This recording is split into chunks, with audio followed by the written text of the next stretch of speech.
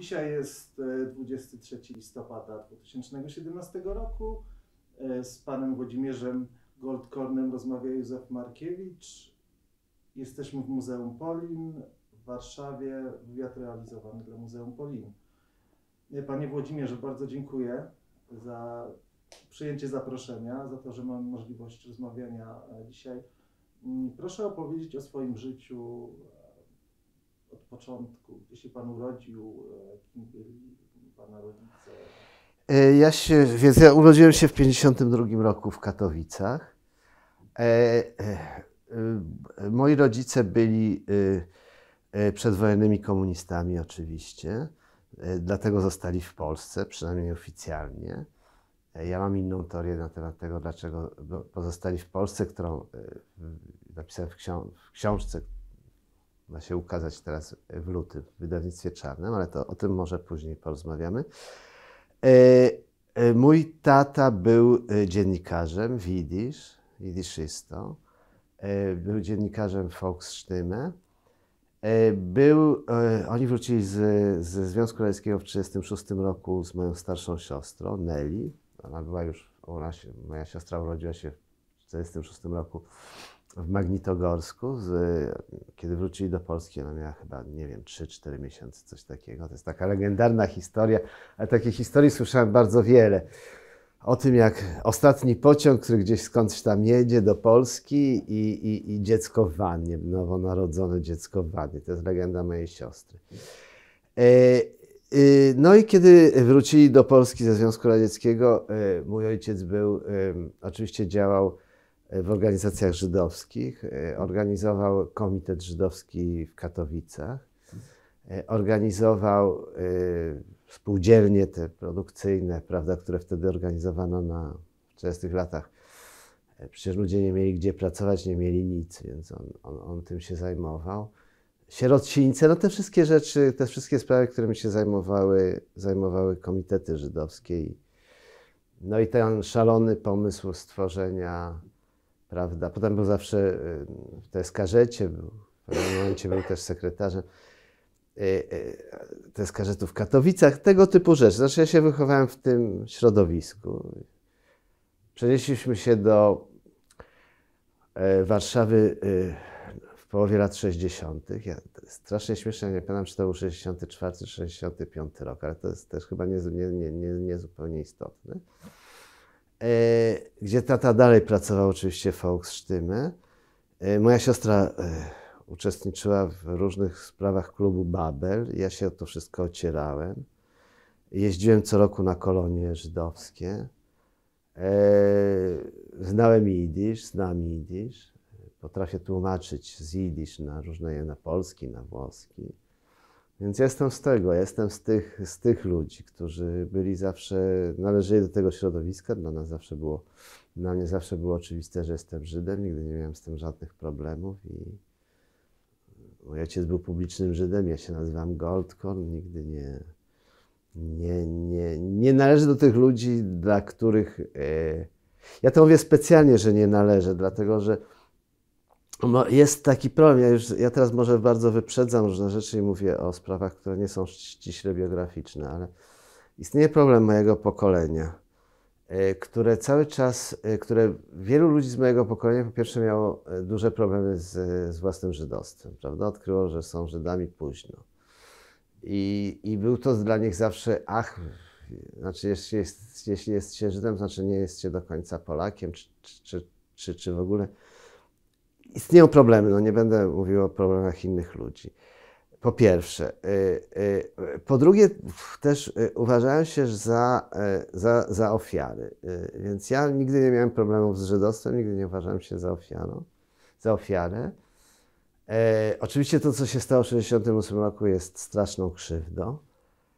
E, ale ja zawsze przypominam moim rówieśnikom, czy rówieśnikom w sensie, prawda, szerokim, e, szerzej powiedziawszy rówieśnikom, e, że myśmy wyjechali z Polski e, wagonami sypialnymi. E, Myśmy nie wyjechali z Polski na łódkach, nie topiliśmy się nigdy. Nie uciekaliśmy jak nasi rodzice do Związku Radzieckiego przez zieloną granicę. E, Na Zachodzie większość z nas, znakomita większość z nas e, zrealizowała swoje marzenia. E, Na Zachodzie szeroko powiedziawszy, jeżeli Izrael jest Zachodem. E, I, a czasem nawet miała więcej niż, niż, sobie, e, niż na to sobie, niż sobie zasłużyła. Więc tak naprawdę nie jesteśmy ofiarami. A jeżeli mam wrócić do, do, do. Ja się przynajmniej nie czuję ofiarą i porównywanie nas do ofiar innych czystek etnicznych, jak na przykład w Jugosławii, co się też zdarza na, na różnych forach polskich Żydów, e, znaczy naszej emigracji, były różne fora, już nie wiem, w nich nie przestałem uczestniczyć, bo są nieinteresujące. E, jest nadużyciem po prostu, jest po prostu nadużyciem. E, Nikt nas nie zabijał i nikt nam w gruncie rzeczy, oczywiście, powtarzam, była wielka krzywda, ale, ale nikt z nas osobiście, oczywiście wszyscy ucierpieliśmy, ale to nie było takie cierpienie, nie zagrażało nic naszemu życiu, naszej wolności. Powiedzmy sobie w ten sposób, ok? I dalsze nasze życie było, powtarzam, 90%, 80%, nieważne z nas, e, miało dobre życie i, i, i, i może nawet lepsze niż gdybyśmy zostali w Polsce. E, powracając do moich, do, więc ja choć, więc, więc urodziłem się w Katowicach, mieszkaliśmy na Kili Skłodowskiej, to był taki e, ogromny budynek Bauhaus, taki przykładowy budynek Bauhausu, piękny, z e, żeglami na dachu, ośmiopiętrowy, bo Katowice miały być, e, Kat- Katowice przed wojną były miastem, miały być miastem takim przykładowym, ja to się potem dowiedziałem od różnych architektów, bo było polskim miastem na granicy, prawda, z Niemcami i tam Pols Polska chciała pokazać, jak pięknym miastem jest Katowice i to była dzielnica ta na południu miasta przy Parku Kościół, niedaleko Parku Kościuszki, która była dzielnicą bardzo taką, naprawdę taka trochę Bauhaus, takie, trochę takie humanistyczne, humanistyczna architektura i to był piękny dom, w którym e, on został zbudowany w 1938 roku. A w czasie wojny tam mieszkali e, Niemcy, gestapowcy, SS-mani, tego typu towarzystwo. E, A po wojnie na ogół funkcjonariusze partii. Mój tata nie był funkcjonariuszem partii, ale jednak był, był jednak y, przedwojennym komunistą i tak dalej, tak dalej. Należał w jakiś sposób do, do, do nomenklatury, więc tam żeśmy mieszkali. E, Tam mieszkali jeszcze dyrygenci orkiestry, kręc, taki, różni ludzie. E, I chodziłem do szkoły y, TDP, Towarzystwo Przyjaciół Dzieci. TPD to było, bo tam nie było religii w szkole, więc do szkoły też chodziły, chodziły na ogół dzieci komunistów albo ateistów. Nie, niewielu było prawdziwych Ślązaków, ale byli. No, ale byli też prawdziwi Ślązacy. Yy, No i potem, no i oczywiście chodziłem zawsze do, no i oczywiście chodziłem do, no, uczęszczałem na różne kółka yy, takie w, w Teskarzecie. Było kółko plastyczne, kółko teatralne. Teraz ciekawe w tym wszystkim jest jedna sprawa, y, a ja to też opisuję w książce, ale nieważne, nie każdy ją przeczyta. Otóż pewnego dnia, y, było na początku lat 60., nie wiem kiedy, y, zgłosił się do mojego taty w TSK-żecie, tata był wtedy sekretarzem TSK-żetu, y, student y, y, Akademii Nauk Pięknych i powiedział mu, powiedział mu tacie, że on nie jest Żydem, jest studentem, E, i potrzebuje trochę pieniędzy, mógłby coś, że szuka jakiejś pracy. No, tata mu powiedział, że e, ponieważ mój tata bardzo lubił sztukę, bardzo lubił, e, miał przyjaciół malarzy, przyjaciół poetów do końca życia.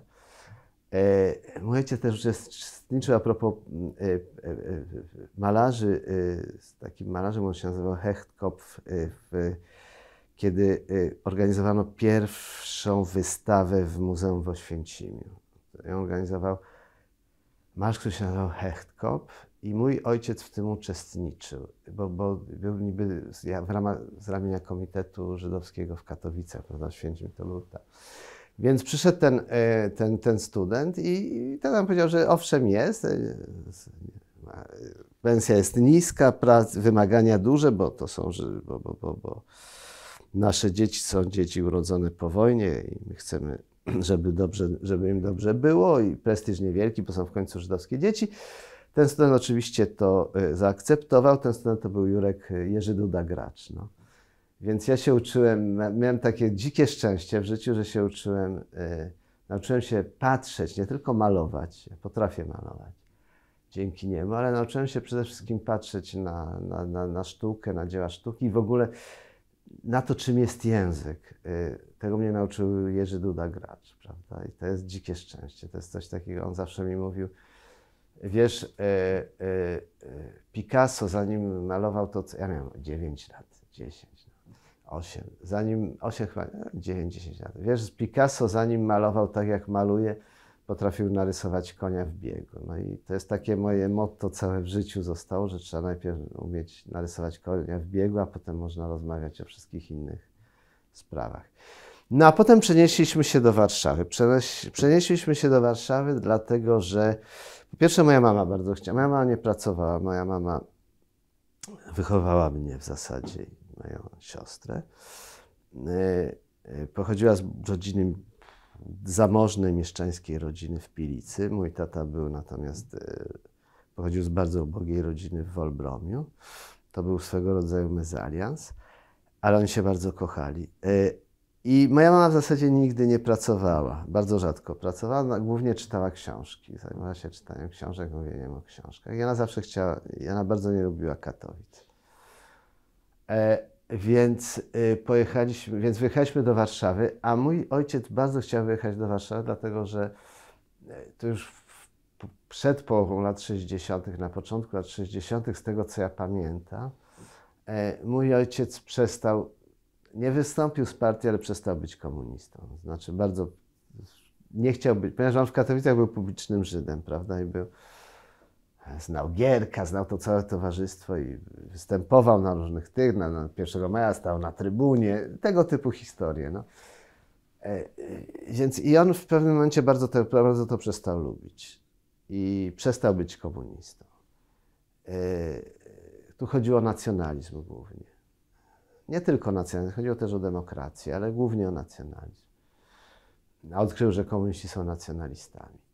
Co na na Śląsku to była bardzo delikatna sprawa, bo na Śląsku byli Ślązacy, komuniści, byli Żydzi komuniści i byli Polacy. Y, Ślązacy komuniści często byli y, byłymi żołnierzami Wehrmachtu. Ale to jest dziwna historia, to jest moja teoria, za którą tylko ja odpowiadam. Istniała jakaś taka przyjaźń i coś w rodzaju aliansu, sprzymierzenia pomiędzy byłymi żołnierzami Wehrmachtu i Żydami. Bo oni oboje się troszeczkę bali Polaków, prawda? To było takie dwie mniejszości narodowe, które się ze sobą trzymały. To ja wiem ze stosunku. Ja to odkryłem teraz, kiedy pisałem książkę, pojechałem do Katowic i, i odkryłem nagle takie różne rzeczy, takie różne dziwne sprawy. I wtedy mi to przyszło do no Boże, przecież Ślązacy i, i Żydzi trzymają się zawsze, się zawsze ze sobą razem. A Polacy bardzo uważali na to wszystko. Bardzo się bali tam zakłócić jakikolwiek. To jest bardzo dwuznaczna historia, bo nacjonalizm komunistów y, w Katowicach też to nie było tak oczy, nie był oczywisty, nie było od początku, bo oni się też trochę bali i Ślązaków. Oni się bali Ślązaków przecież. Komuniści się przecież bali Ślązaków cały czas. A skoro się bali Ślązaków, to, byli też, to, to byli też bardzo large, bardzo tacy hojni dla Żydów. Prawda? Bo to tak szło. Więc, a Żydzi wiedzieli, że jeżeli Ślązakom będzie lepiej, to im też będzie lepiej. Ale to są potwornie delikatne sprawy, o których nikt nigdy jeszcze nie napisał. Ja się zastanawiam, może kiedyś o tym napiszę. Trochę w tej książce o tym napisałem.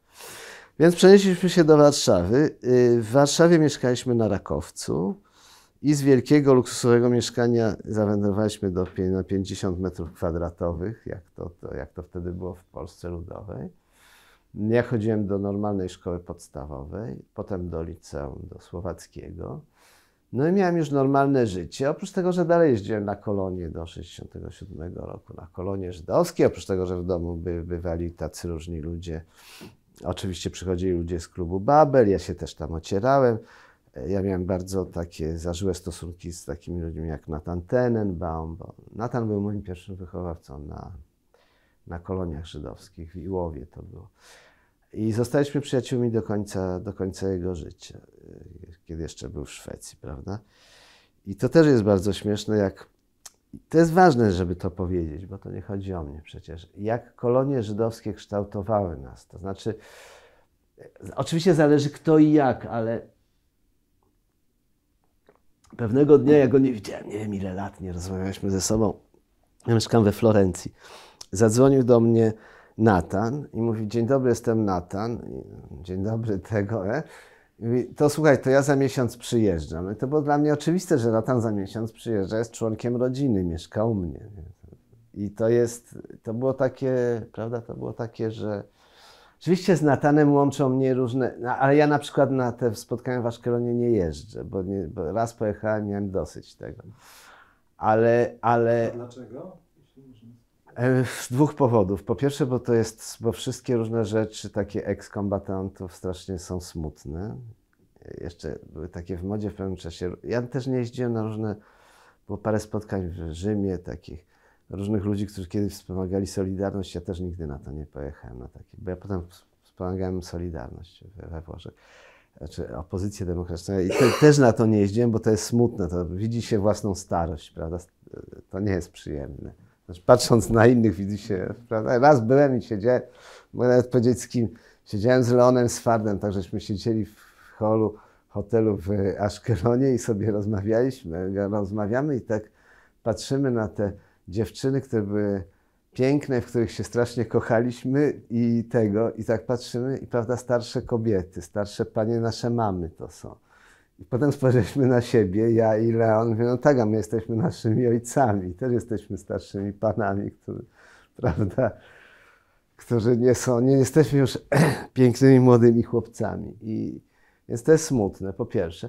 Po drugie, nie jeżdżę tam z tych samych powodów, dla których o przed chwilą powiedziałem. Znaczy, ja nie, nie, nie znoszę tej atmosfery, prawda, skrzywdzonych żydowskich dzieci Yy, no i też ze względów bardzo czysto politycznych, bo, bo towarzystwo, to jest towarzystwo, które w większości, powiem sobie, ci, którzy jeżdżą do Aszkelonu, to mówię coś bardzo ostrego, większości jest raczej bardziej prawicowa i ja tego bardzo nie lubię, szczególnie kiedy się to odnosi do Izraela, do okupacji terytoriów, e, terytoriów palestyńskich i tak dalej, i tak dalej. To jest wszystko ja tego bardzo nie lubię, też nie mam, mam 65 lat, nie mam ochoty się kłócić. Znaczy, to, to co można było zrobić, to zrobiłem.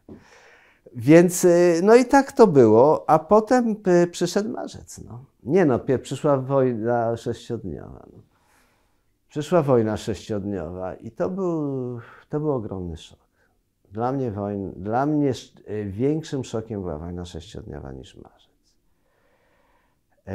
Ja byłem bardzo rozpolitykowanym dzieckiem. U nas w domu mówiło się tylko o polityce. E, moja siostra, która jest ode mnie starsza o 6 lat, e, była ulubioną uczennicą Baumana. Ja z Baumanem do końca życia byłem potem w bardzo, bardzo bliskich stosunkach.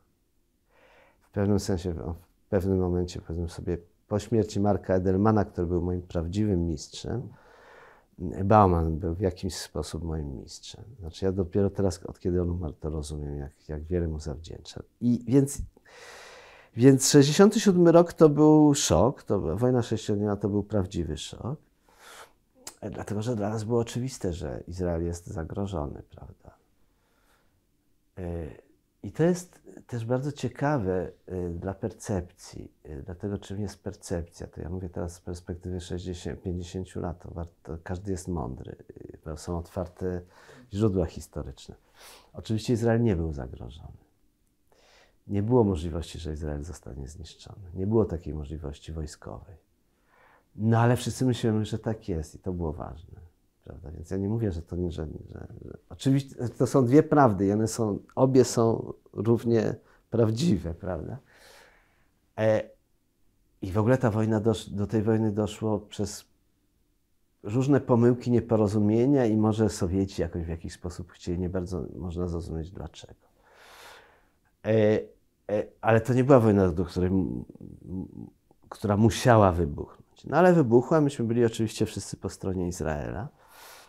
I oczywiście myśleliśmy, że Izrael jest zagrożony. Myśmy rzeczywiście myśleli, że tam może dojść do, do, do, do, do drugiej zagłady. Wtedy nie, nie istniała parola Holokaust. a tym bardziej nie Shoah. I, y,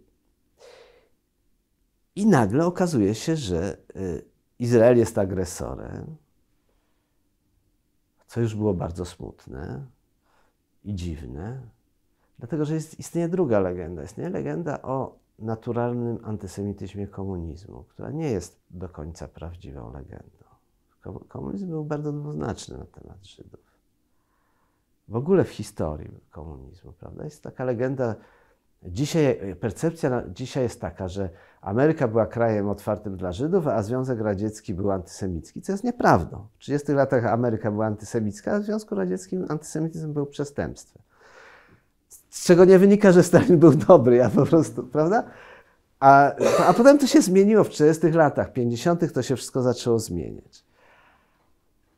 E, ale, e, i, ale Izrael miał bardzo dobre stosunki z Polską i Polska miała bardzo dobre stosunki z Izraelem. O tym nikt nie chce pamiętać, że się jeździło do Izraela i przyjeżdżali ludzie z Izraela do Polski, przychodziły paczki z pomarańczami. I Abba Eban, e, który był wtedy ministrem spraw zagranicznych, przed wybuchem wojny sześciodniowej, czy 66 czy 67 roku, zgromadził wszystkich ambasadorów bloku sowieckiego, y, izraelskich ambasadorów tu w Warszawie z nimi rozmawiał, prawda? Więc oni mieli, więc to nie było tak, że, prawda? I, więc y, i nagle okazuje się, że Izrael jest agresorem i że sprawa jest poważna, że to nie jest tak jak inne rzeczy, że się słuchało prawdy w wolnej Europie, a potem tam w szkole, a potem oficjalnie była inna prawda, tylko że tutaj dzieje się coś ważnego. No i było to przemówienie Gomułki na zjeździe związków zawodowych, gdzie się okazało, że jesteśmy piątą kolumną. No i to był kompletny szok. To był prawdziwy szok. E, mój ojciec wtedy przestał e, pisać do Volksstimme.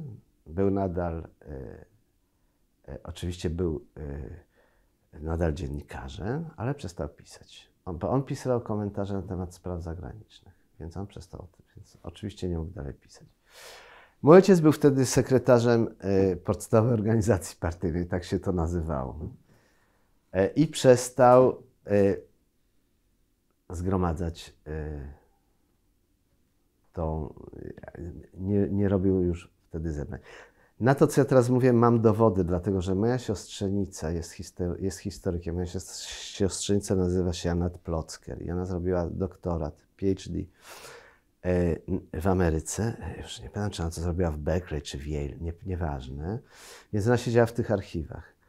E, się nauczyła po polsku i, i ona jest Izraelką. I siedziała w archiwach i potem to wszystko było w archiwach. Co, to, co mój tata opowiadał, co ja nigdy nie wiedziałem, czy to jest do końca prawda, czy on troszeczkę sobie to wyobrażał i jest wszystko w archiwach. No i chodził do, ponieważ on był E, ja nie wiem, jaka była dokładnie ta organizacja partyjna, ale jakoś to tak wychodziło, że on był podległy bezpośrednio jakimś tam facetom w, w KC, no, w Komitecie Centralnym.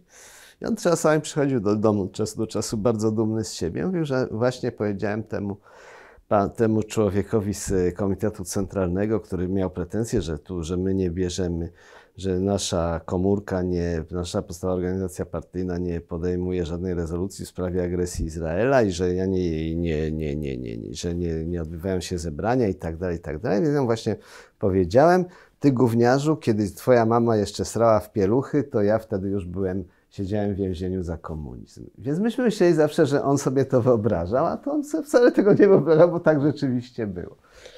Więc to był straszny szok dla nas. To był rzeczywiście straszny szok dla nas. No poza tym to było też tak, że mm, e, były ostatnie kolonie w 1967 roku. To było, w, o, jak się nazywało, Ostrów czy Ostrowiec? Pan, pan chyba nie wie. Na, e, na Pomorzu. Na Pomorzu. Tak. E, I to wtedy to było bardzo ciężkie. To było rzeczywiście straszne. Ja pamiętam, był taki mój przyjaciel jeszcze z Katowic, Jurek Kac, z którym mieszkaliśmy w domku kempingowym. Były takie, mieszkaliśmy w domkach kempingowych. I Dorys, on był plastykiem i młody plastyk taki. Potem został architektem narysowaliśmy takie koła, jakbyśmy byli na wozie, prawda? Ale to też ciekawe te koła, bo te koła to był wóz drzymały, prawda? Żydzi mieli nagle wyobrażenia wozu drzymały, ale też taką menorę żeśmy na, narysowali. No i to był koniec wszystkiego w zasadzie. To był koniec wszystkiego. Yy, I myśmy wiedzieli, że to jest koniec wszystkiego. Yy, moja siostra wtedy chciała wyjechać do Ameryki. Ona studiowała socjologię, nie dali jej paszportu. Ale to już zrozumieliśmy, że, to, że tutaj w zasadzie już życia nie będzie prawdziwego. Moja mama mówiła, że rzeczywiście zaczęła mówić, że może popełniliśmy błąd, że żeśmy stąd nie wyjechali. Albo mówiła, że a gdybyśmy mieszkali w Warszawie, to byśmy wyjechali w 57 roku, 6-7. No, tu w Katowicach nie, bo było inaczej, była inna atmosfera. To a propos tego właśnie, tego, o czym mówiłem przedtem, że była lepsza atmosfera w Katowicach dla Żydów. E, no, ale i to, tak, i to tak było. Więc 68 rok to oczywiście był nowy szok. To już był nowy szok. Ale to był taki szok. Ja w 67 roku zostałem sionistą. E, e, ale to był już taki szok, że to był ogromny szok. To nie, że to był mały szok, to był ogromny szok, oczywiście. To, co, się, to, co nagle zaczęliśmy czytać w gazetach w 68 roku. Moja siostra prezydent uczestniczyła wtedy w okupacji, jak była okupacja tego uniwersytetu i manifestacjach i w tych wszystkich sprawach. Ale no i różni, moja siostra nie, ale różni przyjaciele mojej siostry byli, siedzieli w więzieniu. Natan Tenenbaum się wtedy ukrywał. To było strasznie śmieszne, bo Natan dzwonił do mnie. Wiesz, kto mówił? Wie, wie. To powiedz Nelly. No i to było strasznie, było bardzo, bardzo śmieszna była ta konspiracja, ale, ale, ale, ale, y, ale, y, ale, y, no i wyjechaliśmy. No i w 1968 roku wyjechaliśmy. No to, to, był, to był rzeczywiście ogromny szok.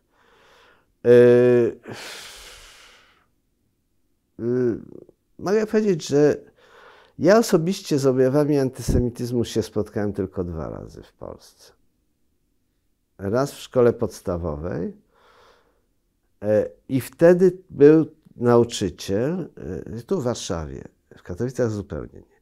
I e, wtedy nauczyciel wychowania obywatelskiego, tak to się nazywało, on był nauczycielem też chyba historii, prawdziwy komunista, wygłosił najpiękniejsze przemówienie, jakie ja słyszałem w moim życiu na temat antysemityzmu. Nie pamiętam niestety, jak on się nazywa. A drugi raz to była taka profesor geografii w 1968 roku już w Słowackim. No i wtedy moi koledzy wystąpili w mojej obronie w sposób bardzo radykalny. Więc to wszystko jest. Więc to, dlatego też ja bardzo lubię tych wszystkich rozmów na temat strasznych, strasznych, strasznego cierpienia Żydów, bo myśmy nigdy nie cierpieli w Polsce. Bo w powojennej Polsce myśmy nie cierpieli. Przynajmniej ja nigdy nie cierpiałem. Żyłem pełnym życiem. E, a, y, i, y, no i wtedy myśmy byli wśród pierwszych, którzy wyjechali. Myśmy, my wyjechaliśmy 10 września 1968 y, roku. Wyjechaliśmy z Polski. Pojechaliśmy do, byliśmy 10 dni we Wiedniu, w Wiedniu. Potem polecieliśmy do Izraela z Wiednia. No i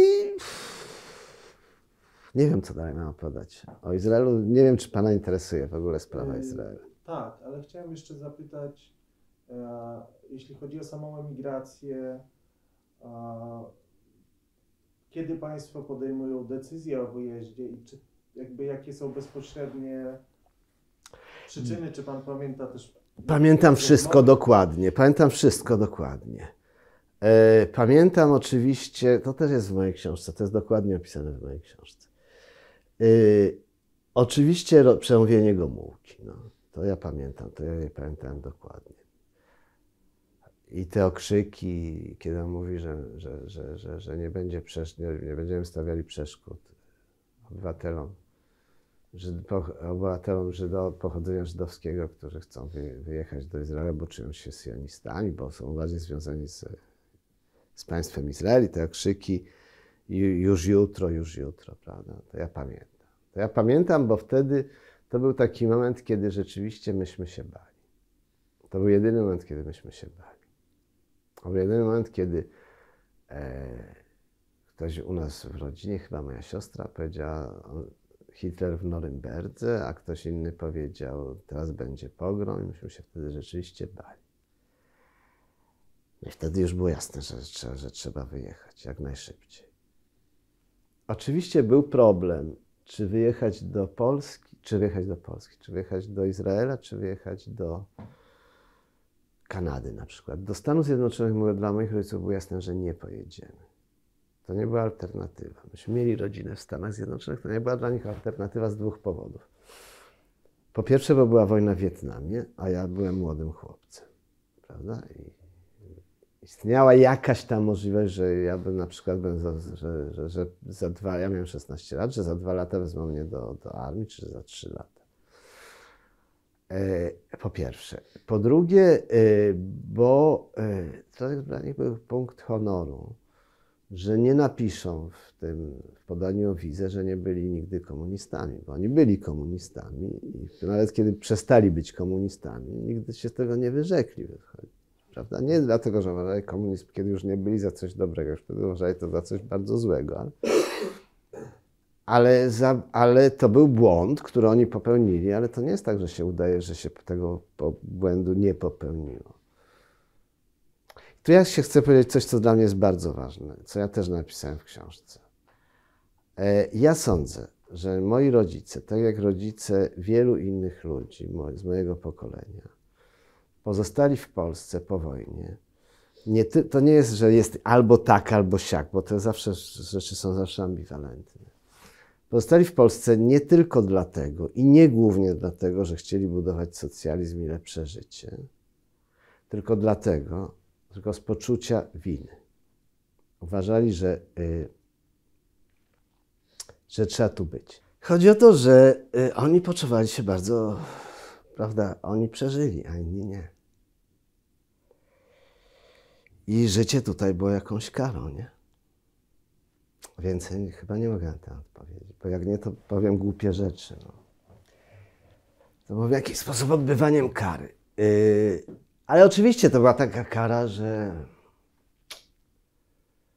A z drugiej strony, gdzie mieli jechać? No przecież to jest bzdura myśleć, że można było pojechać w 40 latach do Izraela. Znaczy, ludzie wyjeżdżali, ale większość ludzi wyjechała, bo były pogrom w Kielcach, ale oni, to nie jest tak, że oni nie byli komunistami. Byli komunistami, więc tutaj zostali, ale głównym, głównym motywem to było to, że, że tu się zdarzyło nieszczęście, tu się zdarzyła katastrofa i to, że oni przeżyli, to nie była sprawa, to była sprawa, to było ogromne poczucie winy.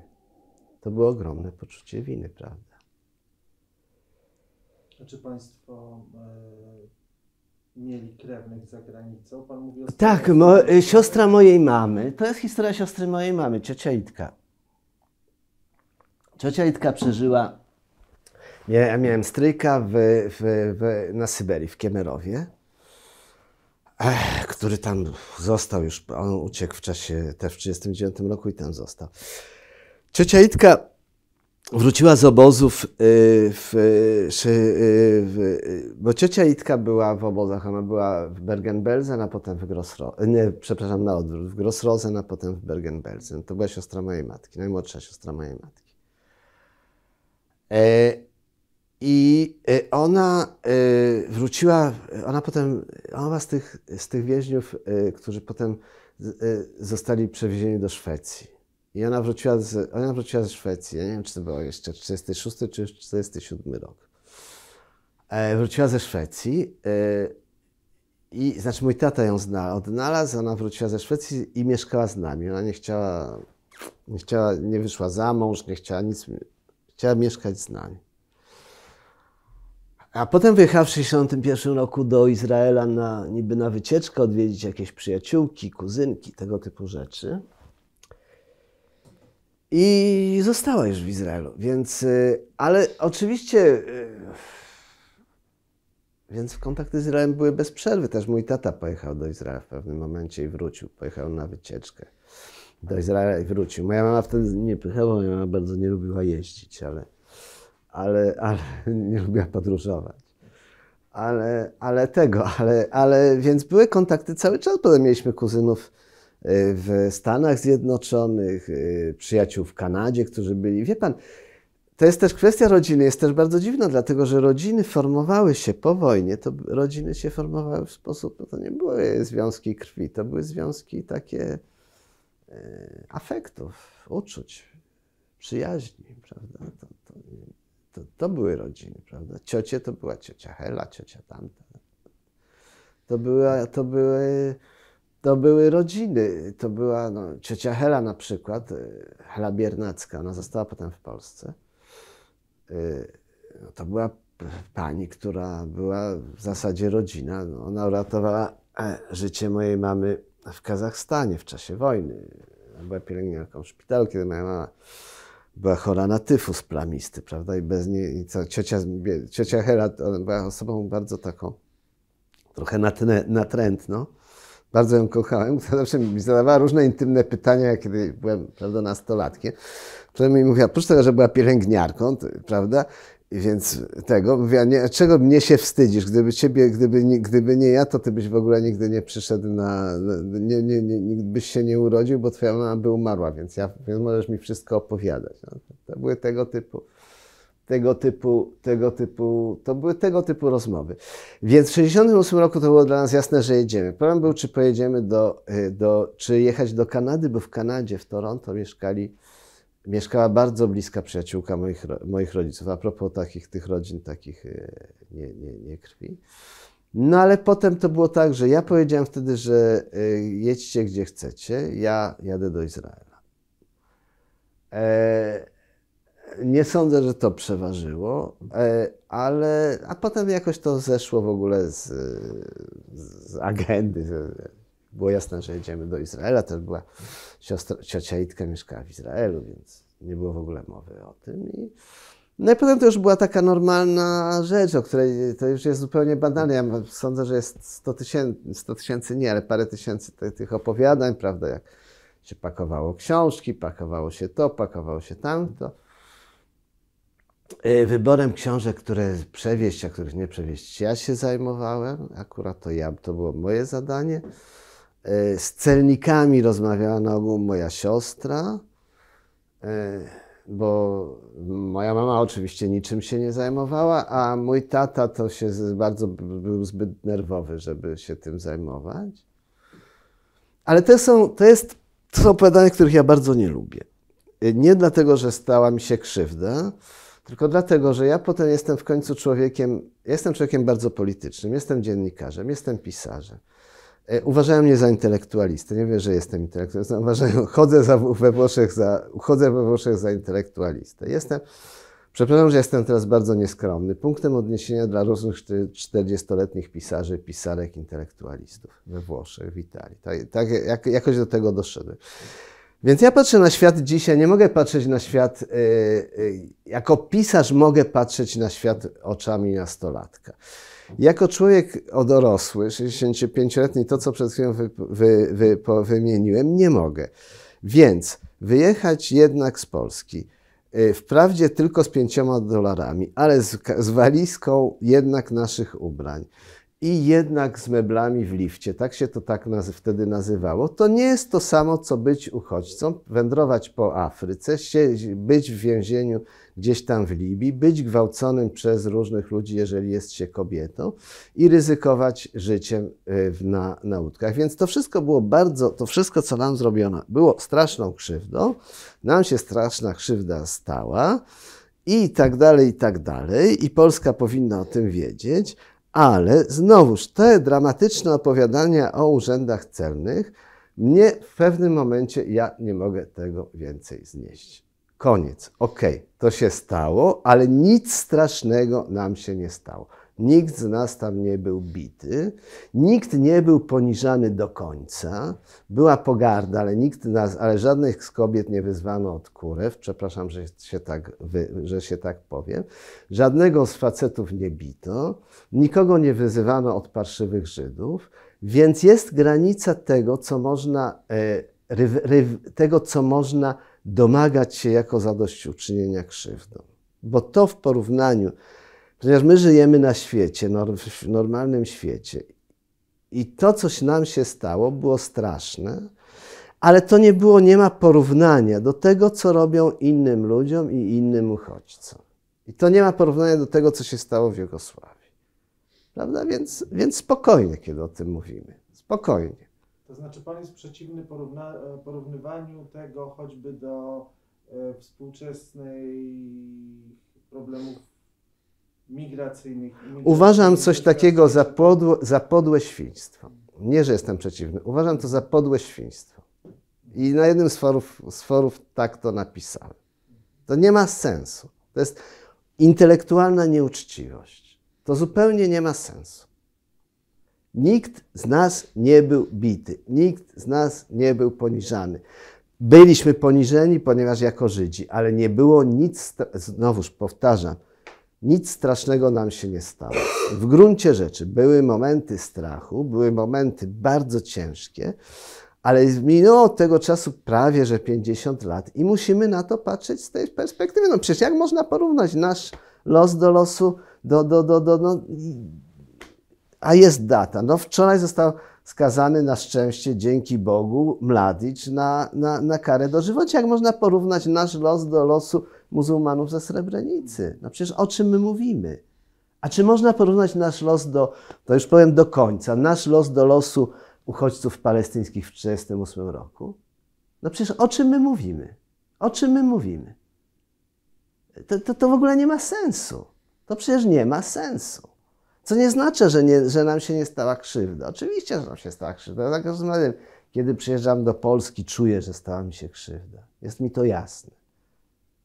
Jest mi to jasne. Istnieje zawsze alternatywne życie w mojej wyobraźni.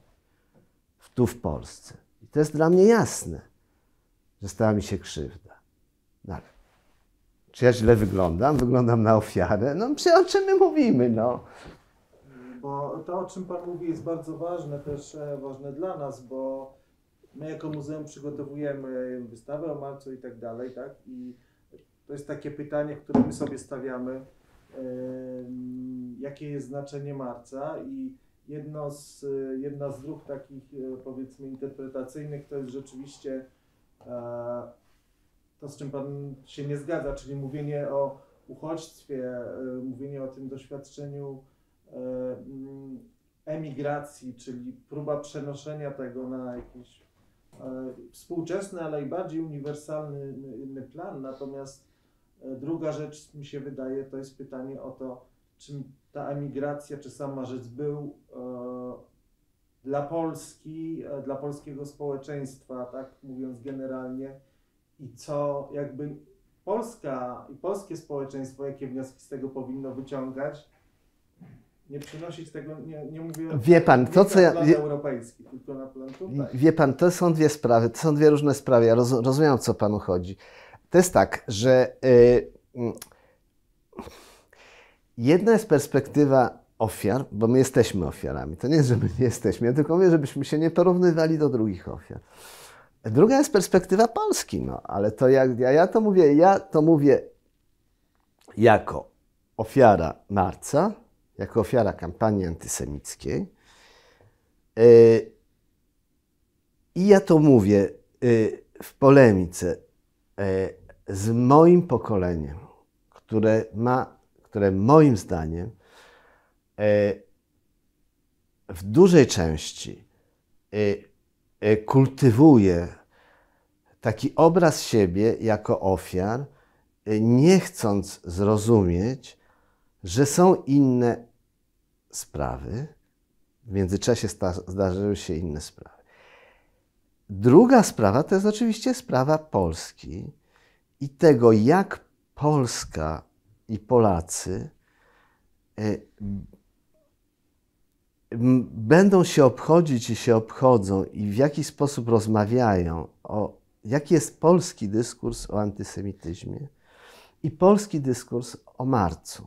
Ale to są dwie różne sprawy. Gdybym ja był Polakiem, to ja bym chodził z czołem posypanym, wymazanym popiołem oczywiście.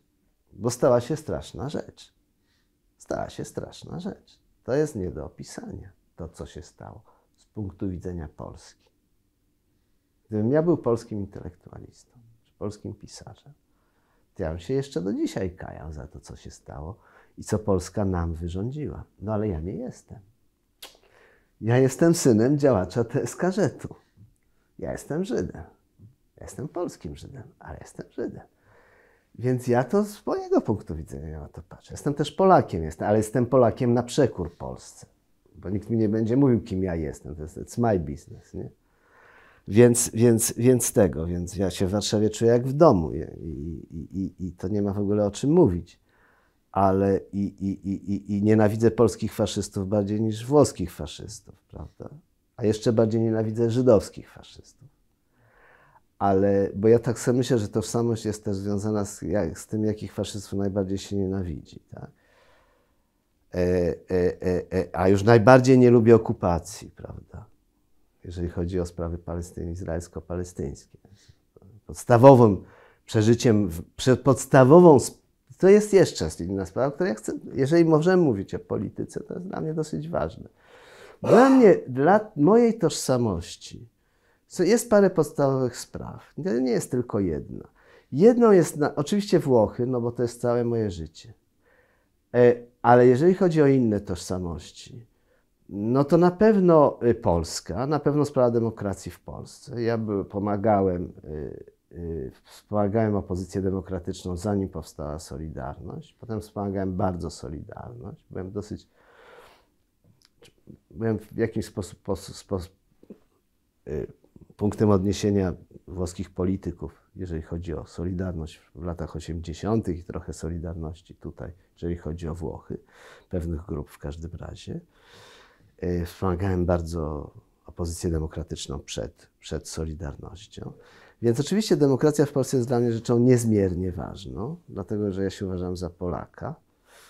E, ale dla mnie też tak samo ważną, a może nawet bardziej ważną sprawą jest e, okupacja izraelska terytoriów palestyńskich, która według mnie, ja dzielę moich ja dzielę Żydów, Izraelczyków na dwa. Ci, którzy są przeciwko okupacji, ci, którzy są za okupacją. I to jest dla mnie podstawowa sprawa, bo to dotyczy też nie tylko sprawiedliwości, ale też co, co to znaczy być Żydem, tożsamości żydowskiej. Co znaczy być Żydem, co znaczy być Izraelczykiem. Ja mam izraelski paszport, ja z niego nigdy nie chcę zrezygnować. Prawda? I to jest podstawowa rzecz. Czy ty jesteś za okupacją, czy jesteś przeciwko okupacji? Nie można być na pół przeciwko okupacji. Jeżeli jest się przeciwko okupacji, znaczy, że okupacja ma się skończyć jutro. Niezależnie od tego, czego chcą Palestyńczycy. I bez negocjacji, bez niczego. Ok, jutro wychodzimy, opuszczamy. Razem z połową Jerozolimy. Koniec. Nie można, nie można. To jest okupacja niszczy Izrael, okupacja niszczy żydostwo, okupacja niszczy Palestyńczyków. Ale okupacja też niszczy żydostwo niszczy w ogóle sposób myślenia Żydów. Też w tym, co się nazywa diaspora. Wie pan, ja jestem uczniem Marka Edelmana. Marek Edelman był moim mistrzem. To nie jest tak, że to jest. To są sprawy bardzo poważne. I nie można, nie można, nie, nie można, nie, jeżeli istnieje taka diabelska, diabelskie powiązanie Izraela z diasporą, kiedy Izrael stał się sprawą centralną dla diaspory, co ja rozumiem, dla mnie nie jest, chociaż jestem Izra obywatelem izraelskim i nigdy z tego nie zrezygnuję. I byłem czynny politycznie w Izraelu. Ale, ale, ale gdybym wrócił, to byłbym znowu czynny. Ale, ale, ale prowadzi do jakiejś identyfikacji, y, to, bo to jest też związane z tym, czy, czy, znaczy, my jesteśmy ofiarami marca, ale potem, jeżeli chodzi o Izrael, to to, o czym mówiliśmy przedtem, o Aszkelonie i tak dalej, tak dalej. Jeżeli chodzi o Izrael, nie mamy problemów z tym, że, że, że, że, że, że, że, że Izrael nie potrafi dla siebie samego, dla siebie samego podjąć sprawy uchodźców z 1948 roku. Co nie znaczy, że oni mają wrócić i tak dalej. Oczywiste, że nie mogą wrócić. Ale podjąć tą sprawę. Więc jeżeli jesteś Żydem, to nie możesz o tym nie myśleć, bo to w moim imieniu ich, wy, ich wygnano 700 tysięcy osób, prawda? I zburzono ich wioski, i zburzono ich, ich miasta. To w moim imieniu to zrobiono. I to jest, i to, nie można tego, ja nie potrafię tego złączyć z 68 rokiem. Ja rozumiem, że to jest bardzo delikatne to, co ja mówię w tej chwili, bo mówimy w Polsce, prawda? Gdzie, prawda, Izrael w 1967 roku był uważany za agresora, chociaż nie był agresorem. To musi być oczywiste, że Izrael nie był agresorem. Izrael myślał, że prowadzi wojnę obronną. Ale, ale, ale, ale nie można, nie można, nie wiem, nie wiem, czy ja to wytłumaczyłem, może, nie, nie, nie wiem. No.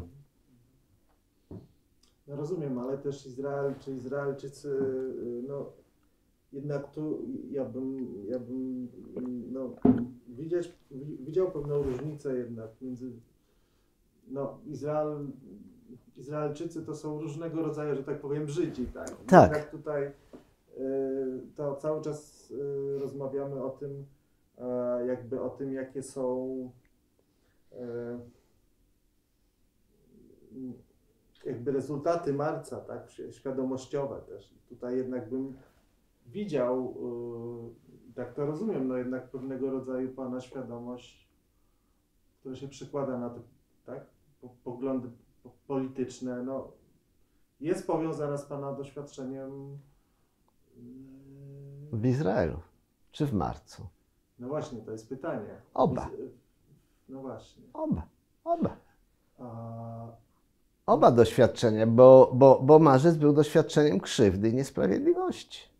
A potem przyjechałem do Izraela i zobaczyłem, jak to wygląda. Pojechałem na terytoria okupowane, zobaczyłem, jak to wygląda i zobaczyłem inną niesprawiedliwość. To jest przecież proste, no. Wystarczy być człowiekiem, nie? No właśnie, jak, co, co, co pan przyjeżdża, masz 17 lat, wtedy. Tak, 16. 16 do, do Izraela i co? I jedziemy do, yy, i jedziemy do mojej cioci, do, do, do w Tel Awiwie. Tam byliśmy parę dni, tam nic ciekawego się nie wydarzyło. Yy,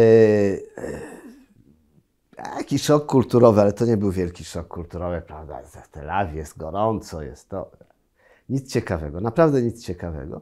Potem pojechaliśmy do Jerozolimy, byliśmy tam w takim, to się nazywało Merkasklita y, y, w, w, w, w, y, w Jerozolimie, czyli centrum absorpcji, gdzie mieszkali różni ludzie. Tam mieszkał Bauman, wtedy tam był, był profesor Sierpiński, no różni tego typu ludzie. W takiej dzielnicy było małe mieszkanko, wszystko normalne, naprawdę. Było bardzo miło, bardzo przyjemnie. Znaczy, przyjemnie nie było, bo to, prawda, jest szok, no. Nowa rzeczywistość.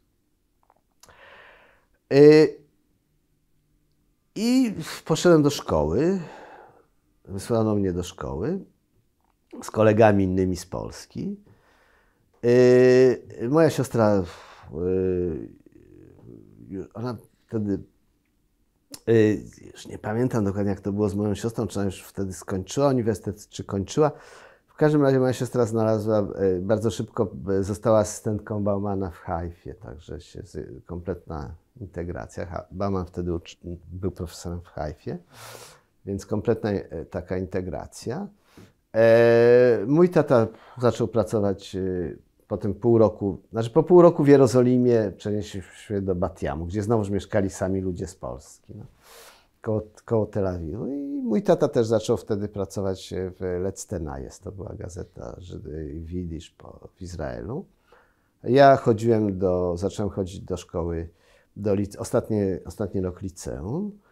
E, nasze życie, e, to, i tam, ja tam miałem, ale to znowu, że jestem wyjątkiem pod tym względem, bo ja miałem podwójne życie wtedy, zupełnie podwójne życie. Miałem jedno, to było moje życie y, z moimi kolegami, rówieśnikami z Polski, no, tam w dzielnicy, na podwórku, tego typu rzeczy, nastolatki, e, kompletnie wy, wykorzenieni, zupełnie, to zupełnie żyliśmy poza, poza, poza, poza rzeczywistością w jakiś sposób. No bo wszystkie punkty odniesienia były polskie, to jest nagle Izrael. Niedobra dzielnica, a my wszyscy z dobrych domów, prawda? I chodziliśmy do, do najlepszych liceów w Warszawie, większość z nas. Byli prawie wszyscy z Warszawy, ktoś był jeszcze z Gdańska, z Sopotu, ale tego typu rzeczy. I nagle jesteśmy w niedobrej dzielnicy, niedobre liceum, nie znamy języka i tak dalej, i tak dalej. I to było bardzo ciężkie. To było bardzo ciężkie. Ja nie wiem, czy ja o tym mogę mówić, bo to, ale na przykład używaliśmy bardzo, była taka, to były też te lata 69, 70, to były lata, prawda, roku i takich rzeczy. Używaliśmy narkotyków, też ciężkich narkotyków. E, I były różne. To była rzeczywiście bardzo specyficzna historia, której nikt nie napisał nigdy. Może kiedyś. Ja, ja myślę, że ja o tym napiszę kiedyś. Ale i to było to takie jedno moje życie tam w tej, w tej dzielnicy, e, w Batiamie, w Ramatanasi, z tymi właśnie narkotyki, tośmo e, i polskie punkty odniesienia. Ale ponieważ ja byłem zawsze dzieckiem bardzo upolitycznionym, to drugie moje życie, ja natychmiast wstąpiłem do organizacji skrajnej lewicy w Izraelu. Więc miałem drugie życie. Ja nie jestem dzisiaj skrajnie lewicowy, żeby było jasne. Ale wtedy byłem. Natychmiast wstąpiłem do organizacji skrajnej lewicy, a wstąpiłem do organizacji skrajnej lewicy, bo ja te pół roku mieszkałem w Jerozolimie. Tuż po tym, jak Jerozolima została, wschodnia Jerozolima została zdobyta przez Izrael. I ja widziałem, co się dzieje. Ja tego nie mam ochoty opisywać, bo to jest to Izraelu, to nie ma sensu. Szkoda czasu. Więc ja widziałem, co się dzieje. To, to nie jest tak, że się, jak człowiek chce, to widzi. To jest, jakby to powiedział Marek Edelman. Wystarczy chcieć widzieć, to się widzi.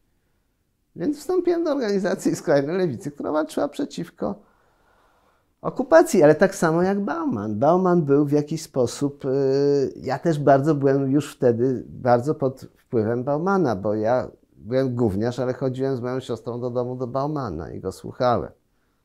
Prawda? I, i, I on był wtedy ważny dla Nowej Lewicy. To był czas Nowej Lewicy. Więc, więc miałem takie podwójne życie. I miałem cały czas to podwójne życie w Izraelu, że z jednej strony byłem, e, chodziłem do, e, przyjaźniłem się z tymi, miałem tych, tych polskich przyjaciół, z niektórymi z nich pozostałem oczywiście w bardzo bliskich stosunkach, jak brat, siostra. Są dla mnie braćmi siostrami, nie, niezależnie od, od poglądów politycznych. A, a, a, a. Niektórzy z nich, oczywiście nie wszyscy, dwoje, troje takich ludzi, dwoje, powiedzmy sobie. A, ale, ale, ale, a z drugiej strony, ale, a z drugiej strony uczestniczyłem w różnych, w, w, w manifestacjach, jeździłem po wioskach arabskich, rozdawałem ulotki, zajmowałem się takimi rzeczami, które wtedy w Izraelu były bardzo źle widziane. Byliśmy uważani za zdrajców. Więc stałem się drugim, po raz drugi zdrajcą narodu. Pierwszy raz w Polsce, niezależnie ode mnie, a po raz drugi w Izraelu, bo już bo chciałem. I tak to wyglądało. No. Ale to jest oczywiście przeszłość. Ja, już się tym nie zajmuję, nie jestem już skrajnie lewicowy. Zostało mi tylko to, że uważam okupację za przestępstwo. E, czyli pan kończy y, studia w e? Ja maturę robiłem w Izraelu. E, to, było też, o, to jest też specyficzna rzecz. Większość naszego środowiska wyleciała ze szkół wtedy. Bo wie pan, to myśmy mieli 16-17 lat. To jest zupełnie coś innego. To można wtedy rzeczywiście zwariować w takiej sytuacji, w jakiej myśmy byli. Więc większość z nas wyleciała wtedy z, z, z liceów i zorganizowano im jakąś taką maturę po polsku w Izraelu. Takie dziwne rzeczy się działy. E, było nas parę osób, na pewno dwie, to znaczy ja i Andrzej Borowicz, który jest teraz lekarzem we Frankfurcie. Myśmy się uparli, że my będziemy robili prawdziwą maturę, więc zrobiłem prawdziwą maturę. Ja zrobiłem maturę też humanistyczną, znaczy taką, gdzie był hebrajski, Talmud, Biblia, te wszystkie rzeczy. Znaczy taką naj, naj, najtrudniejszą, jaka istnieje w języku hebrajskim. Uparłem się, że ja to zrobię i to zrobiłem. A potem, y, potem byłem w wojsku. W wojsku byłem krótko, byłem 9 miesięcy. Po 9 miesiącach wojsko uznało, że się nie nadaje na żołnierza. E, e, bo oczywiście nie wykonywałem rozkazów, robiłem różne rzeczy, których nie należy, których normalny żołnierz nie robi. Ja byłem bardzo polityczniony. Powtarzam. E, e a potem y, agitował różne rzeczy, mówiłem żołnierzom, których nie należy mówić żołnierzom i tak. Więc Zostałem wywalony z tego wojska. E, a potem zacząłem studiować w Izraelu, zacząłem studiować filozofię. E, I w, ale to był taki moment, kiedy ja już byłem bardziej niż filozofię. No, studiowałem filozofię, ale głównie zajmowałem się polityką, rewolucją, polityką, okupacją, tego typu rzeczami. Organizacja nazywała się MACPEN. To była organizacja, która dzisiaj jest legendarna. E, e, bardzo radykalna. Ja dzisiaj nie uważam się za antysyjonistę, żeby było jasne.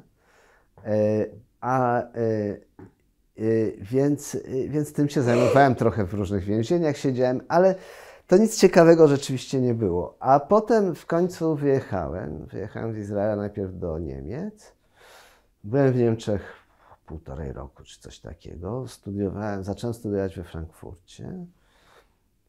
Potem jakoś bardzo mi się tam nie podobało, zupełnie mi się nie podobało. E, bo sprawy pamięci nie były wcale jasne wtedy. Mówimy o 7, początku lat 70. To, to, to, były bardzo dwuznaczne historie. Poza tym nie chciało mi się.